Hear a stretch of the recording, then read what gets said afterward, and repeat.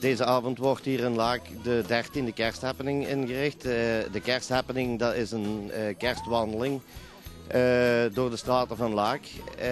waar verschillende standjes staan waar de mensen iets kunnen consumeren.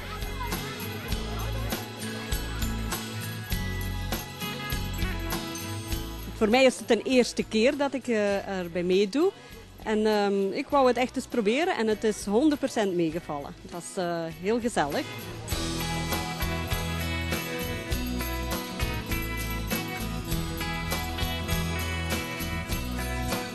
We hebben een aanvraag ingediend om de straatverlichting te doven en de uh, straten verkeersvrij te maken, zodat de mensen voluit kunnen genieten van uh, de mooi verlichte huizen en tuinen.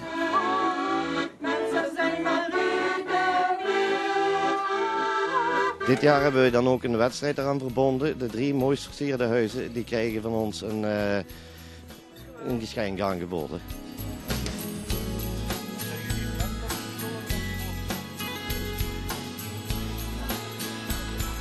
Ik woon hier al ongeveer zes jaar en ik heb al zes jaar meegedaan aan de kerstwandeling. En ik vind dat het elk jaar beter en beter wordt. En KWB Laak, een pluimpje ervoor.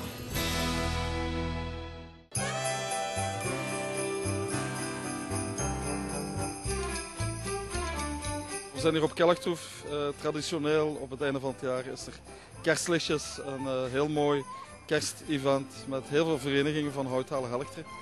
Uh, en ook een aantal standjes waar mooie sieraden en andere dingen worden verkocht. Ieder jaar vind ik dat een fantastisch avondje voor eens gezellig naartoe te komen met de familie, de kinderen. En voor mensen die graag een borrel of een pintje drinken dus, of een hapje eten. En uiteraard wordt alles afgesloten met een uh, prachtig vuurwerk uh, dat Kelktroef echt uh, in de sfeer brengt en van Kelktroef iets sprookjesachtig maakt. Ik kom hier omdat het hier fijn is. graag, ik kom hier graag. Ja, ik vind het gewoon aangenaam. De sfeer is aangenaam. Een mooie kerstsfeer. Hier voel ik me echt uh, kerstmarkt. Uh, drink ik mijn eerste gluwijn. En vertrekken we met, uh, naar kerstmis toe.